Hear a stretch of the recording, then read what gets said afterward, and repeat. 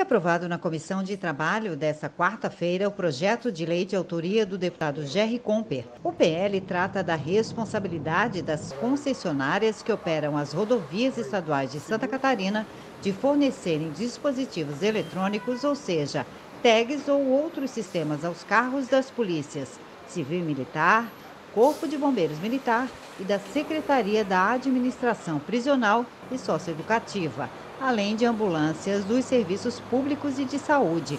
A relatora foi a deputada Paulinha, que deu parecer favorável ao projeto. O dispositivo legal é, determina que as empresas concessionárias das rodovias que têm os, os pedágios, elas ofereçam um tag para que esses veículos tenham passagem rápida e não precisem naturalmente esperar na fila para comprovar que são veículos públicos, e enfim. Então, é, é uma medida simples, mas seguramente vai ajudar na proteção e na salvaguarda da vida das pessoas. Aprovado também outro projeto de autoria do deputado Jerry Comper, que determina as empresas locadoras de veículos estabelecidas no Estado o dever de informar ao DETRAN a existência de delitos de apropriação indébita e estelionato.